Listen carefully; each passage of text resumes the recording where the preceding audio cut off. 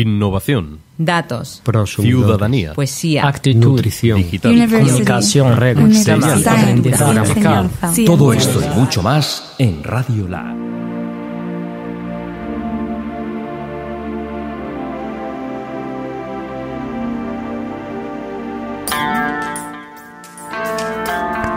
Pues aquí seguimos en eh, Unimpública, en este espacio que estamos eh, abriendo para hablar de innovación pública en las universidades. Y con nosotros tenemos ahora mismo a Loredana Stan, que es gerente de Novagov e investigadora de la red InnoLabs. Muy buena, Loredana, bienvenida.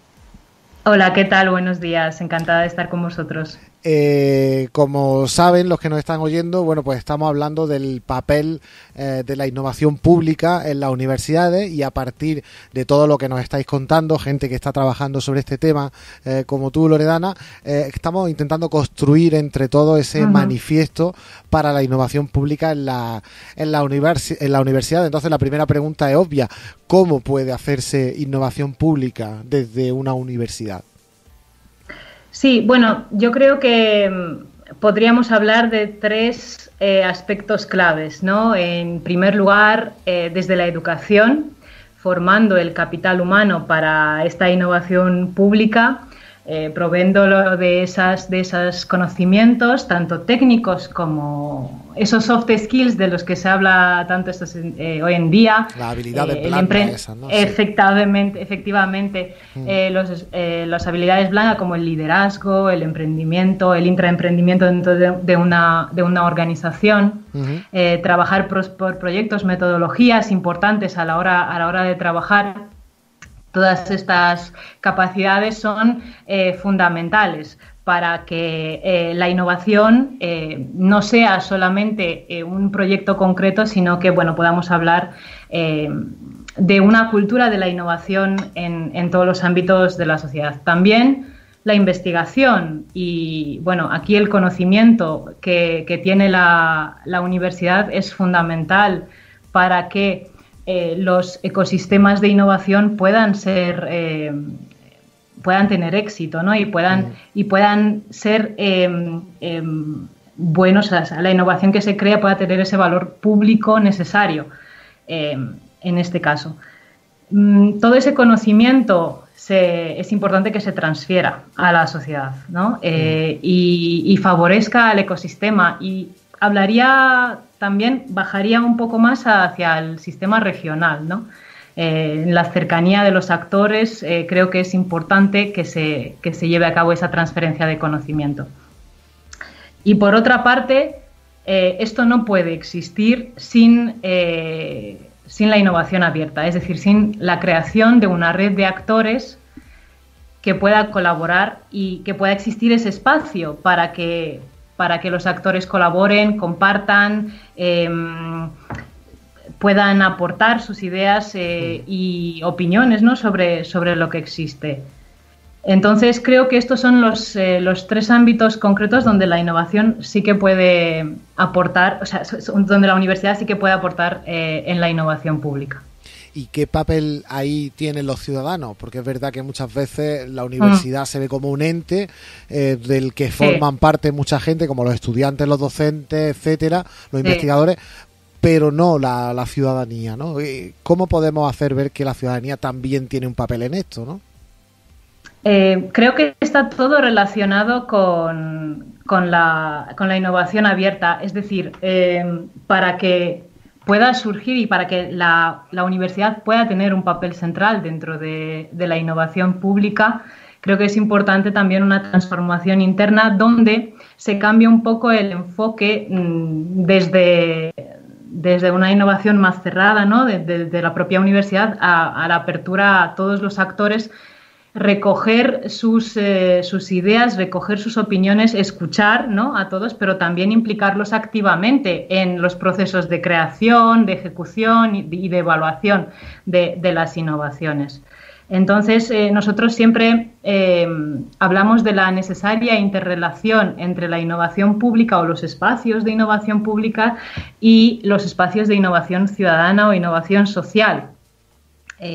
Creo, creemos que esa complementariedad entre la creatividad de la sociedad, de los innovadores sociales y el conocimiento experto de las universidades o de la administración, eh, en su caso, pues es eh, imprescindible para eh, que todo lo que salga de la innovación ¿no? tenga un valor público y pueda tener un impacto social importante. ¿Cómo crees que, bueno, en ese panorama que estamos comenzando a dibujar, ¿no? De ese mundo mm. post-COVID que estamos empezando a intentar imaginar, ¿qué papel debería tener la innovación pública? Bueno, creo que el COVID nos ha puesto de manifiesto la necesidad de, potenciar la investigación y la innovación en todos los sentidos, tanto tecnológica como, como social, como académica eh, y, como pública, ¿no? Porque desde luego la respuesta no es eh, ningún, ningún organismo o ninguna institución, eh, ninguna persona tiene una respuesta eh, única a, los retos a los que nos enfrentamos. Y por tanto la colaboración es más que nunca importante en este sentido. Y probablemente la universidad por pues bueno, por su conocimiento, por el espacio que puede ofrecer, puede tener un papel central para ello, para aglutinar y orquestar un poco todo ese ecosistema y las relaciones entre los diferentes actores. Y, ya para acabar, no te quiero quitar más tiempo, eh, allí en Novagov, para que la gente, la gente que no conozca vuestra vuestra entidad o la red Labs, ¿a qué, ¿cómo trabajáis allí en Novagov o a qué os dedicáis? Nosotros aplicamos, bueno, lo que, lo que hemos también recogido en el artículo es un poco también nuestra filosofía de trabajo eh, desde siempre, es decir, desde el enfoque de ecosistema y apostando por la, la innovación abierta, la transversalidad y la red de actores. Siempre trabajamos eh, eh, en este sentido. Nosotros en Novagop, pues bueno, es queremos creer que estamos creando un ecosistema de, la innovación pública a través de diferentes áreas de trabajo, como es la red social de los profesionales públicos, donde más de 16.000 empleados públicos, gente de la, de la, academia, de las universidades, expertos, el sector privado también, pues colaboran comparten conocimientos, inquietudes, eh, pues bueno, respuestas que han ofrecido a diferentes problemáticas que pueden tener en común. Eh, el Congreso Novagov, un congreso anual eh, que desarrollamos muy conocido, espero. Sí, sí. sí que, en el que, bueno, pues intentamos desvirtualizar todos los problemas públicos que encontramos y que co-creamos incluso con la comunidad eh, de la red social eh, cada año, ¿no? En los 50 retos Eh, también el laboratorio de innovación pública o el laboratorio de gobierno donde intentamos aplicar metodologías innovadoras, aglutinando a comunidades de expertos y, en torno a necesidades concretas que nos plantean las administraciones. Y, bueno, la red InnoLabs eh, es un proyecto que iniciamos en 2018 con, la, con el apoyo del programa CITET, donde eh, intentamos reunir a diferentes laboratorios eh, en torno a los retos comunes que nosotros también tenemos, ¿no? de cara a, responder a, las problemáticas de la, de la sociedad.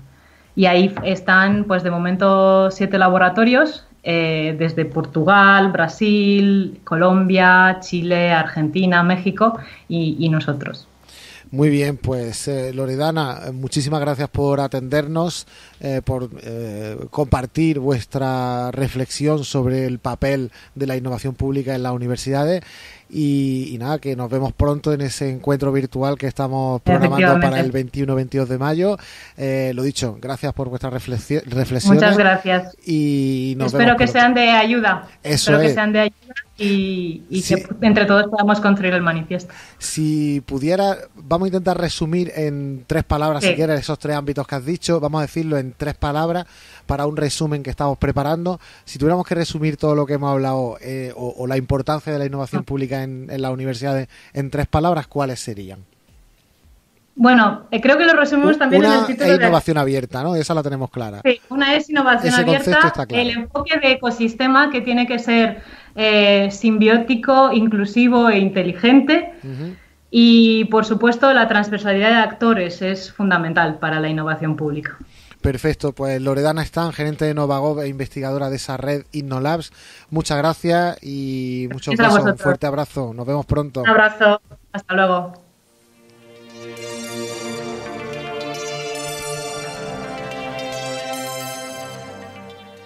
Radio Lab UGR, Radio Universitaria para el Ciudadano Conectado.